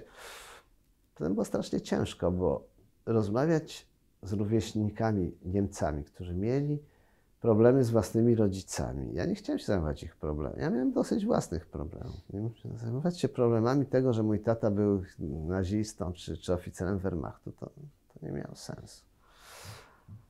Więc wróciłem do Izraela. E, wróciłem do Izraela, trochę pracowałem, trochę tośmo, zajmowałem się znowuż polityką. A potem wyjechałem z powrotem w 1976 roku, z powrotem wyjechałem z Izraela i tym razem już pojechałem do Włoch, bo ja w międzyczasie w Niemczech zakochałem się w, w Italii. Italia była wtedy bardzo ciekawym krajem. Była krajem ciekawym społecznie, politycznie i kulturowo. To był okres wielkich pisarzy, to był okres wielkich reżyserów, to był okres ogromnego zaangażowania społeczeństwa obywatelskiego, które przekraczało wszystkie ramy partii. To był okres wyzwolenia kobiet. To był okres wszystkiego, co piękne. No a poza tym jest piękno Italii, prawda? Więc ja sobie tak pomyślałem, ja tak dzisiaj mówię, że skoro nie miałem mieć domu, to chciałem mieszkać w najpiękniejszym kraju na świecie. I tak się to stało. I już studiowałem nauki polityczne, a potem zostałem dziennikarzem. No i tak jak już mówiłem, zacząłem się zajmować też bardzo sprawami Polski. Nawiązałem kontakt z Markiem Edelmanem. Potem ten kontakt był bardzo, bardzo bliski, bardzo, bardzo intymny. Kiedy ludzie mówią, że, jest, że był moim przyjacielem, to ja mówię zawsze, że nie był moim przyjacielem, bo to też a propos mojego pokolenia, że wszyscy są przyjacielami. Istnieją hierarchie. On nie był moim przyjacielem, był moim mistrzem. To jest zasadnicza różnica. Nie wolno o mistrzach mówić, że są przyjacielami, że są przyjaciółmi, nawet jeżeli cię traktują jako przyjaciela. E, e, e, no i no już, no i tak, i tak jestem tutaj i tak to wygląda. No. W 1989 roku Sewek Blumstein zaproponował mi, żebym wrócił do Polski pracował w gazecie Sewek i Helena Uczywo. Na początku 90. W pewnym momencie mi powiedzieli, byliśmy w jakimś przyjęciu wtedy tutaj, oni powiedzieli, słuchaj, wróć. Jak chcesz, to wróć, możesz przecież z nami pracować. Wtedy powiedziałem, że to nie ma sensu. Co było, to było i jestem we Włoszech, jestem Włochem, mam włoską żonę, włoskiego syna, więc nie ma o czym mówić. No ale mm, e, pan odzyskał e, polskie obywatelstwo? To jest też ciekawa sprawa, dlatego że ja w pewnym momencie bardzo długo nie chciałem. Myślałem, że nie ma sensu. A potem w pewnym momencie już zarządów, zarządów za najlepszych czasów, czyli Komorowski, prezydent, Tusk, premier, E, na jednym z przyjęć przychodziłem często do ambasady polskiej, bo wtedy oni jakoś bardzo mnie lubili. Nie, chodzi, bywałem często na różnych przyjęciach. W pewnym momencie na jakimś przyjęciu powiedziałem ambasadorowi, już nie pamiętam jak on się nazywał wtedy, ten ambasador. Powiedziałem mu, że wie pan, panie ambasadorze, jednak myślę, że ja... Bo kiedyś mi jakiś ambasad, jeden z ambasadorów mi proponował, żebym przyszedł do mnie i mówił, to może załatwimy panu to obywatelstwo, już dosyć tego. Ja wtedy powiedziałem, nie, nie ma sensu. Dziękuję, ale nie ma sensu, wolę nie. E, a potem, lat, kilka lat później, e, a to było potem, to, to jest też ciekawe, to było potem po takiej, To ja opowiem, a potem y, o tym obywatelstwie, bo ten ambasador mi to proponował, kiedy była, była audycja w telewizji o Polsce, o Radiu Maryja. To było za pierwszych rządów Kaczyńskich, ok? I dziennikarz żydowski, y, y, znaczy Żyd włoski, Gad Lerner, robił tą, trans, tą audycję. To był taki talk show. Tyle, że on przedtem pojechał, y, dzień przedtem pojechał do Marka Edelmana do Łodzi, zrobił z nim wywiad. Ja na tą, trans, ja na tą audycję poszedłem y, z, z, z najlepszymi intencjami i mówię ambasadorowi, który siedział naprzeciwko mnie, bardzo fajny, bardzo porządny człowiek. E, Ja mu mówię, panie ambasadorze, e, to jest, e, on był przeciwko Kaczyńskim, rzeczywiście wspaniały człowiek. Ja mówię, panie ambasadorze, niech pan będzie spokojny, ja będę próbował wsa- wsadzić, wstawić w kontekst sprawę polskiego antysemityzmu.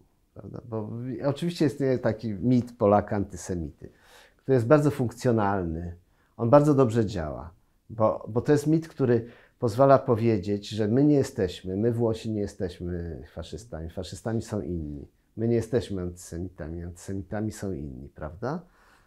Więc Polska w tym sensie jest czymś takim, na co się przerzuca wszystkie winy własne, prawda? Nawet Francuzi, prawda? Oni nigdy, Vichy nigdy nie deportowało Żydów, to Polacy byli źli dla Żydów, prawda? Co oczywiście znowuż nie ma nic wspólnego z Jedwabnem, prawda? Są dwie strony, ok? Mordowano Żydów po wojnie. Mój tata chodził z pistoletem. Przecież nie mógł z Katowic do Warszawy jeździć pociągiem, ani samochodem, tylko samolotem. Tylko latał samolotem i to było dla nas zawsze jasne. I o Kielcach u nas się zawsze w domu mówiło, od kiedy jestem ma- byłem mały. Małym dzieckiem. Więc też Kielce nie były dla mnie nigdy zaskoczeniem. To też a propos tego bycia ofiarą. No, nagle ludzie odkryli, że są Kielce, że jest antysemityzm. Ja o tym zawsze wiedziałem, dlatego ja się też nie czuję tak strasznie ofiarą. Wracając do, do obywatelstwa. I ja mu mówię ambasadorowi, że będzie, że ja będę tego. I nagle słyszę, i, ale idzie najpierw ten wywiad Gada Lernera z Markiem Edelmanem. No i Marek Edelman bije w Polsce, w, w Pola, jak w bęben, w Kaczyńskiego, w Rydzyka, w Radio Maryję. Używa słowa faszyzm i tak dalej, i tak dalej. Taki da, jed- jedna z najostrzejszych wypowiedzi, jakie słyszałem od Marka Edelmana. Przerwa na reklamy. No ja wtedy mówię do ambasadora, wręczam mikrofon, mówię, panie ambasadorze, to jest tak, w bundzie istnieje dyscyplina partyjna, więc ja teraz będę musiał niestety przypierdolić. Przepraszam za nieparlamentarne słowo. Ambasador mówi, panie Włodku, ja pana rozumiem. No i potem jak to się skończyło, jak ja waliłem w bęben, jak też w niego, on mi mówi, wie pan, może skończymy z tą sprawą i ja panu i załatwimy pana obywatelstwo. Ja mu wtedy powiedziałem, nie, ja dziękuję, nie. E, A potem wróciłem, już za czasów tych najlepszych, wróciłem, taka Polska była taka fajna, była strasznie fajna. I, i, poszedłem, I poszedłem do ambasadora, mówię, mu, panie ambasadorze, ja myślę, że jednak ja poproszę o polskie, że ja jednak chcę dostać z powrotem polskie obywatelstwo. To już był inny ambasador. No i ambasador tak na mnie patrzy i mówi, ach, jak świetnie. To ja to zaraz na, za chwilę i podchodzi do pani konsul i mówi, pani, do pani konsul. Pani konsul też patrzy na mnie i mówi, ach, jak to fajnie. To proszę się do mnie zgłosić, tu jest mój telefon, kiedy pan chce, proszę do mnie zadzwonić i załatwię. Potem ja o tym zapomniałem, miałem inne interesy, to nie było strasznie pilne, w końcu mam włoski paszport. Więc, e, więc e, po paru miesiącach, więc ją, ją widzę na jakimś innym przyjęciu w ambasadzie, jakieś inne święto narodowe, coś. No. Nie mówię, wie pani, ja rzeczywiście do pani nie zadzwoniłem, ale ja teraz w przyszłym miesiącu na pewno to zrobię. I ona mi mówi, tak, wie pan, dla mnie to jest zaszczyt i honor przywracać panu obywatelstwo. Więc mi na tym bardzo zależy osobiście. No to ja do niej dzwonię. I y, ona mnie zaprasza na kawę. Idę na kawę do, do, do, do, do, konsulatu, tam przy ambasadzie w Rzymie. Przychodzi urzędniczka, która się tym zajmuje. Powtarzają mi obie, że dla nich to jest zaszczyt i honor i w ogóle jak to wspaniale. Oso- że dla nich to jest osobiście wzruszające. I, ta, I dają mi listę dokumentów, które ja muszę przynieść. I na jakie, z jakich języków, na jakie języki ja mam tłumaczyć. I to pan, to świadectwo tego, świadectwo tamtego, a to pan przetłumaczy, a tu przetłumaczenie przyjdzie. Ja to tego wszystkiego słucham, biorę te dokumenty, mówię tak, bardzo dziękuję. Poszedłem sobie i oczywiście tego nie zrobiłem, bo ja nie muszę udowadniać nikomu, że jestem Polakiem. Ja sobie to wyobrażam zupełnie inaczej. Ja sobie wyobrażam, że ja przyjdę i oni powiedzą, dobrze, jest świadectwo urodzenia w Katowicach, my to załatwimy. A nie, że ja muszę przynosić jakieś tam papiery. Oczywiście, że to jest związane z prawami, z ustawami prawnymi Rzeczpospolitej, które mają coś wspólnego z tym, że ja wyjechałem do Izraela, nie gdzieś indziej, więc żeby nie było problemów z Izraelem dyplomatycznych. To nie jest takie proste, to nie jest, to nie jest brak chęci, to nie jest tak. To jest kwestia, że jeżeli, to znaczy ja rozumiem, że tam są różne problemy, ale to nie jest moja sprawa.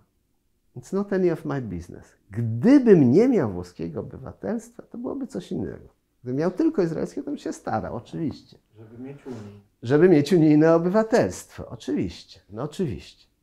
Ale ja mam włoskie. A jest, a więc, ale bo, to, albo, bo już wtedy chodziłoby tylko o paszport, prawda? A jeżeli chodzi o moją przynależność, o moją, toż, ja nie lubię słowa tożsamość, więc jeżeli chodzi o moją przynależność, do Polski, to przecież to nie zależy od mojego paszportu, nie? To jest Tuwim. Nie, pewnie. Nie? Ojczyzna, polszczyzna. Ja tu jestem w domu. To wie pan, to nie ma o czym mówić.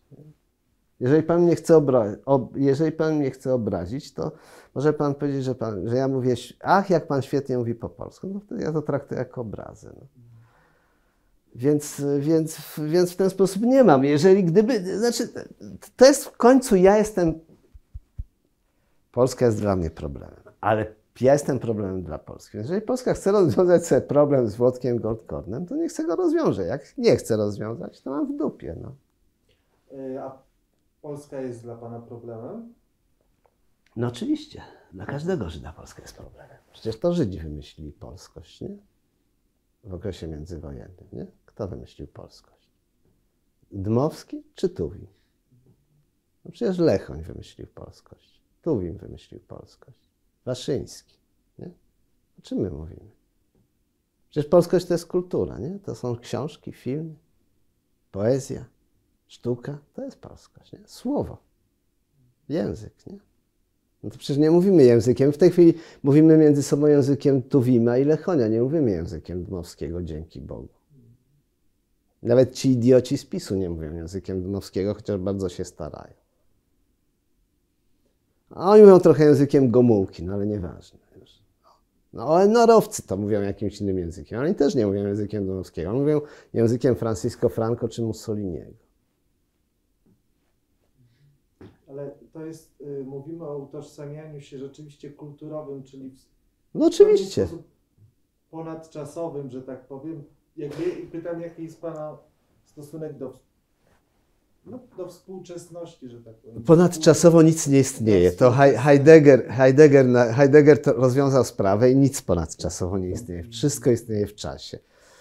Yy, Natomiast mój stosunek do Polski jest taki, oczywiście, że ja, ja to, to powiedział jeden z moich najbliższych przyjaciół. Kiedyś ktoś na takiej kolacji, ktoś się zapytał, mi, mi, yy, zapytał mi się, po to po włosku lepiej brzmi, kiedy opuściłeś Polskę? To mój taki przyjaciel, wielki włoski intelektualista powiedział, wiesz, Włodek nigdy nie opuścił Polski. No i już, to jest oczywiste. To ja panu powiedziałem, ja bardziej nienawidzę polskiego faszyzmu niż włoski, polskich faszystów niż włoskich faszystów, chociaż włoscy faszyści mnie osobiście zagrażają, prawda? Znaczy nie osobiście, że ja miałem jakieś, miałem też pogróżki, ale nieważne, ale osobiście, bo ja tam mieszkam, jeżeli zaczną bić jakichś ludzi, to będą bili mnie, czy mojego syna, czy moje wnuki, a w Polsce to ja mam w dupie, nie, nie mogę tu najwyżej nie przyjechać. Nic mi się złego nie stanie. Ale, ale, ale, ale wewnątrz e, serca, w żo- żołądku bardziej ich nienawidzę niż włoskich faszystów. Nie ma, nie ma, nie ma w ogóle, nie ma w ogóle na ten temat mowy. Tak samo jak bardziej, ja, ja, ja bardzo kocham język włoski, bardzo kocham język włoski. I powiem bardzo nieskromnie, ja bardzo dobrze piszę po włosku. Znaczy, ja, e, znaczy tak to mi mówią, że ponieważ znowu ja w tym pracuję, więc mówią, że ja, ja, ja, że, że ja piszę, że ja bardzo dobrze piszę po włosku. Yy, Ale oczywiście bardziej kocham język polski, to nie ma sprawy. Jest mi, nie wiem, czego bardziej kocham, jest mi bliższy. Ale to jest normalne, przecież ja w końcu, no, to jest język dzieciństwa, prawda? To jest język, który mnie ciągle... Ja też lepiej rozumiem książki, kiedy czytam je po polsku niż po włosku. Łatwiej mi czytać, nie? To, to jest oczywiste, ale to jest... Ale ja nie myślę, że to jest kwestia wyboru kulturowego. To jest kwestia podświadomości. Nie? No, jak się człowiek urodził w jakimś języku, to ten język pozostaje do końca życia. Chyba, że, że się człowiek go wyrzeka świadomie, no to wtedy jest już duży problem. Czy że się robi to, czy, że, czy na przykład tak jak w Izraelu, ja bardzo lubię źle mówić o Izraelu, czy na przykład tak jak w Izraelu, kiedy żądają od ciebie, żebyś się wyrzekł. Teraz już nie, ale jak kiedy myśmy przyjechali, to bardzo żądali, żebyśmy się, żebyśmy się wyrzekli języka, co, co, co, co, co natychmiast, o czym rozmawiamy w ogóle. No to ludzie się wyrzekają, ale to jest nieważne, są zupełne bzdury.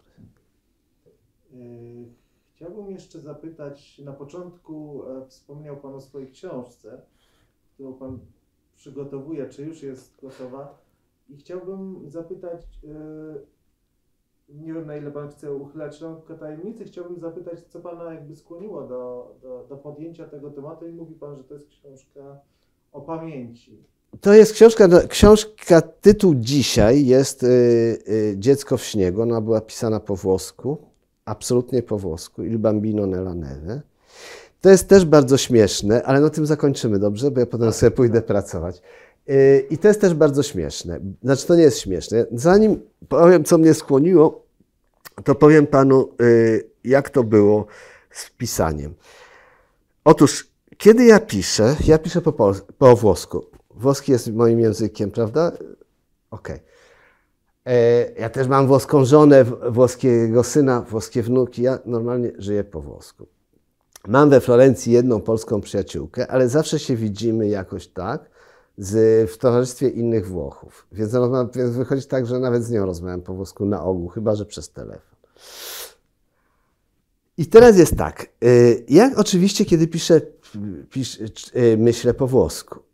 Y, y, e, I czasami zdarza mi się parę razy gazeta czy ktoś inny poprosił mnie jakieś kawałki po polsku, to ja mam duży problem przez pół godziny. Po, po, po pół godziny już nie mam problemów i piszę normalnie. E, a po włosku ja nie mam żadnych problemów oczywiście. Piszę tym razem i, i myślę po włosku oczywiście.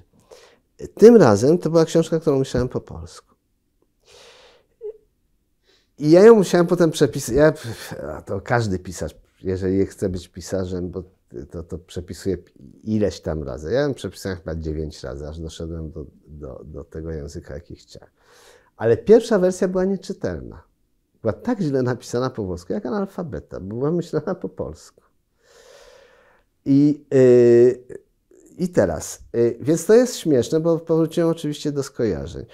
Ja ją napisałem dlatego że y, chodziło mi o, o, chodziło mi o pamięć. Y, chodziło mi o to, y, że ja jestem wrogiem pamięci, to dosłownie wrogiem, nie adwersarzem. Wrogiem pamięci takiej, jaka została skodyfikowana. Pamięci szczególnie o Shoah. Ja dostaję szału, kiedy słyszę nigdy więcej Auschwitz, czy nigdy więcej. Bo kiedy my mówimy nigdy więcej, kiedy to mówi Putin albo jakiś inny dyktator, albo nawet kiedy to mówi demokratyczny polityk, wybrany w wyborach, humanista, i potem pozwala, żeby ludzie tonęli na łódkach na Morzu Śródziemnym, to ja wolę, żeby on nie mówił tego i ja wolę, żeby Oświęcim nie był, nie był miejscem pamięci i ja wolę, żeby nie było w ogóle tej pamięci. Jeżeli mówienie o Oświęcimie i o Shoah ma być alibi do tego, żeby zbudować, żeby pozwalać ludziom umierać tylko dlatego, że chcą lepszego życia, to rezygnujmy z pamięci. Jestem w ten sposób, jestem, na ten temat jestem bardzo radykalny. Bardzo radykalny. Oczywiście nie napisałem tego, żeby to powiedzieć, bo to wystarczy napisać w artykule i to napisałem. ok? Parę razy. I to nie ma, i nie ma sprawy z tym. Za to bardzo mnie lubi gmina żydowska oczywiście. Ale, ale, ale, ale, ale nie, chociaż są gminy żydowskie, które to przyjmują. Są, istnieją gminy żydowskie, które to rozumieją i Żydzi, którzy to świetnie rozumieją. E, ja napisałem o to, ale chodziło mi o to, ja bardzo, ja jestem bardzo zadowolony z tego, że Piotr Cywiński jest dyrektorem Muzeum w Oświęcimiu. I, I, za każdym razem, kiedy rozmawiamy i się spieramy, ja mu to mówię. Ja na końcu mówię, jestem szczęśliwy, że ty jesteś, e, e, jak to powiedzieć, e, kustoszem mojego cmentarza. Bo to jest mój cmentarz rodzinny. Ale y, to, co się dzieje na tym cmentarzu, to po prostu nie ma sensu. To mnie obraża. To obraża moją rodzinę, która tam została zamordowana. Ale ja napisałem to, bo chodziło mi o to, żeby wytłumaczyć, że pamięć. Chodziło po prostu, po pierwsze, chciałem opisać dzieciństwo. Chciałem opisać sytuację dziecka żydowskiego z punktu widzenia żydowskiego dziecka w Polsce, która jest. Moja sytuacja jest tak marginalna, że staje się uniwersalna. To jest takie ABC literatury. Teraz nie mówiłem w ogóle o filozofii. To ABC literatury. Istnieją sytuacje kompletnie marginalne, z których można stworzyć literaturę, bo stają się uniwersalne poprzez, poprzez marginalność, bo łatwo się wtedy identyfikować, prawda? Znaczy nie ma nic na przeszkodzie, żeby się nie identyfikować, bo to jest takie dziwne, takie, prawda, to jest tak, taki dziwoląg. No, komunista, TSKZ i tego lidiszysta, no ilu nas było tak naprawdę? Parę tysięcy. No bo większość komunistów to przecież nie byli idiszyści. E, e, a jednocześnie moi rodzice nigdy nie byli prawdziwymi komunistami. Zawsze byli bardzo krytycznie nastawieni do tego, do tego całego interesu, chociaż byli komunistami nigdy nie pracowali w aparatach władzy. E, e, więc i u nas w domu się zawsze źle mówiło o przywódcach partii. To było normalne. Że to jest analfabeta, ten jest to, to jest to.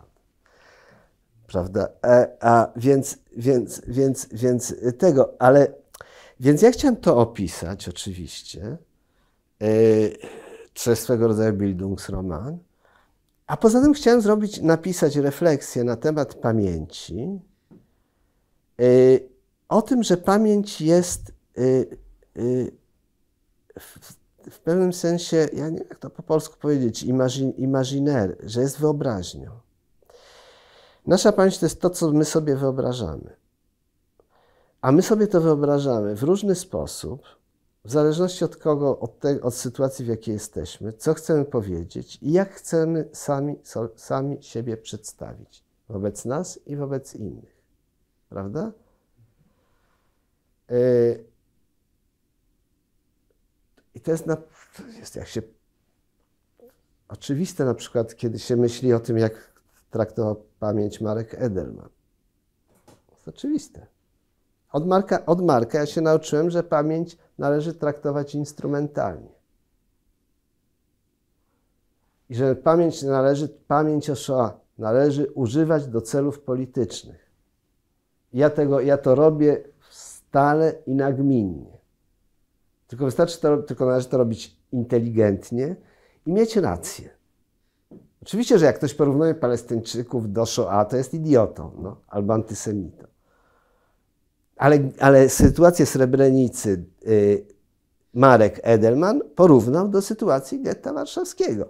Co oczywiście nie było zgodne z, z tak zwaną obiektywną prawdą historyczną, ale w tym momencie to było bardzo ważne, bo to mobilizowało świadomość ludzi. I to pomogło tym, nie Srebrenicy, Sarajewo, przepraszam, obrażenie Sarajewo. I to pomagało ludziom w Sarajewie i ludziom takim jak ja i moi koledzy, którzy walczyliśmy o to, żeby Europa zniszczyła, czy NATO zniszczyło serbski nacjonalizm. Prawda? To była ważna sprawa w tym momencie. Tu chodziło o Europę, o demokrację. Więc, więc napisałem to między innymi dlatego, żeby, żeby o tym pisać. I last but not least powiem coś bardzo nieskromnego w tej chwili. E, dla mnie bardzo ważne oczywiście jest Primo Levi. Nie tylko jako dla Żyda, ale bo, jest, bo mieszkam w, Italii. E, w Isomersie i Salvati, ja nie wiem jak to jest po polsku, ci, którzy utonęli, ci, którzy się zachowali, pogrążeni i, i ocaleni. Ocaleni, tak. Tak. On mówi, że świadectwo może dać tylko ten, kto zginął, prawda? Kto jest pogrążony. E, teraz, e, a inni nie mogą. Teraz ja tą sprawę potraktowałem bardzo serio. To, co on powiedział, to, to jest rzecz, o której ja myślałem przez wszystkie lata, od kiedy on natychmiast potem popełnił sam, krótko potem popełnił samobójstwo. Ja o tym myślę, myśl, to, to jest taka myśl, która mnie drążyła bez przerwy, bez przerwy, prawie że codziennie rano. I ja pomyślałem, w pewnym momencie pomyślałem sobie, nieświadomie, teraz to wiem, bo już napisałem książkę, przedtem nie byłem tego świadom. Ja z tą książką jeżdżę bardzo dużo po, po, po szkołach we Włoszech, po liceach. Była książka, miała duży, ona ma, miała duży sukces we Włoszech, o. Y, I mnie chodziło o to, żeby y, podjąć, żeby te jego słowa podjąć jako wyzwanie. To znaczy, okej, ty, primo, ty, ty, Primo Levi, nie mogłeś, bo byłeś częścią tego, prawda? Bo byłeś w Oświęcimiu. I oczywiście ofiara bezpośrednia nie może, ale ja nie jestem ofiarą bezpośrednią. Ja w ogóle nie jestem ofiarą. Kiedy ja słyszę słowo drugie, druga, drugie pokolenie, to znowuż mam duże wątpliwości. Co znaczy drugie pokolenie? Ja byłem kiedyś w getcie, ja byłem kiedyś w, w, w, obozie koncentracyjnym. Mnie kiedyś to w ogóle groziło. O czym my rozmawiamy? Jestem człowiekiem wolnym. Jestem człowiekiem wolnym. Zależy ode mnie, co ja z tym zrobię, co ja z moją wolnością zrobię. Więc chodziło mi teraz, to to, co jest bardzo nieskromne. Chodziło mi o to, żeby, na, żeby spróbować opisać to, co jest nieopisywalne. Pierwsza część tej książki to są moje wspomnienia i o tym, jak się rodzi pamięć i tak dalej, i tak. Druga to jest podróż z młodą fotografką Neż de Benedetti po obozach zagłady. Są tylko obozy zagłady, czyli y, przede wszystkim Birkenau, no bo to jest mój grób rodzinny. E, Po drugie, potem stamtąd pojechaliśmy do Bełżca, z Bełżca pojechaliśmy do Sobiboru, a z Sobiboru do Treblinki. Do Chełmna nie pojechaliśmy, bo już, bo ona już nie była w stanie dalej. No, dziewczyna 27 lat. I, I to była rzeczywiście ciężka podróż y, ze mną. A ja zrobiłem też logistycznie wszystko, żeby nie było lekko, to znaczy niedobre, nie, żeby nie było luksusowych hoteli i tak dalej, tak dalej, bo chodziło, na, chodziło mi o spojrzenie, przecież nie chodziło, nie była wycieczka. Chodziło o to, żeby ona była bardzo skoncentrowana, żeby spróbowała sfotograf, sfotografować pustkę. Bo podstawową tezą mojej książki jest, to jest to, że Shoah jest pustką. Tą pustkę my zapełniamy różnymi różnymi treściami, które, które w danym momencie są dla nas ważne. Ale opisywać racjonalnie pustkę jest czymś, czego nie da się zrobić. Da się zrobić, ale nie racjonalnie, a wtedy już są duże problemy. I ja spróbowałem potem opisać to, co jest nieopisywalne, to znaczy opisać, co się tam działo. Od momentu, kiedy przyjeżdża pociąg, do momentu, w którym ci ludzie kończą w komorze gazowej. Oczywiście na podstawie świadectw, ale też na podstawie wyobraźni. Używając języka, który ja nie wiem, czy był używany, y, po włosku to wyszło dobrze, po polsku ja nie mam tyle wyczucia języka, bo jednak tu 39 lat już tu nie mieszkam, ale tłumaczenie jest dobre, jestem bardzo zadowolony z tłumaczenia, gdzie ja też zmieniam radykalnie język.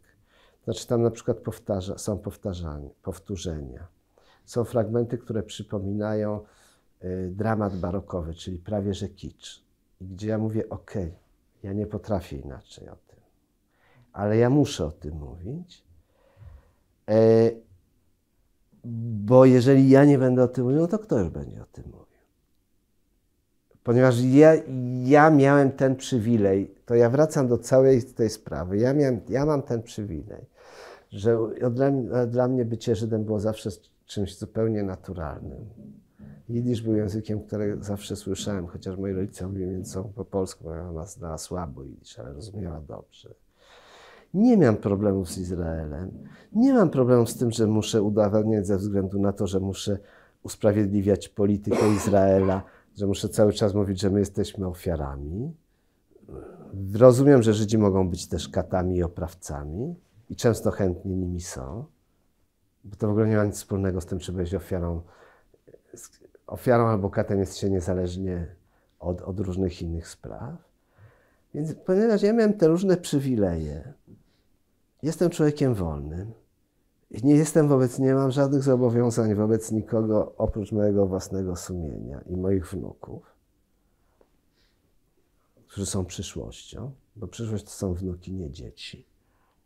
Też pamięć się.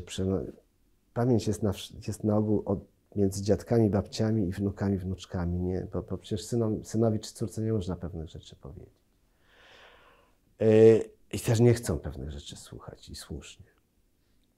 Więc ponieważ to wszystko jest, to ja spróbowałem to opisać. No to już czytelnicy zobaczą. To jest, będzie bardziej ciekawa reakcja w Polsce, bo we Włoszech oni nie mają do, tyle doświadczenia z, z, literaturą obozów. Znaczy, mnie chodzi o drugą część, tą część, gdzie ja próbuję opisać nieopisywalne, nie, nie, nie używam synonimów, tylko powtarzam słowa, y, kaleczę język i tak dalej, i tak dalej.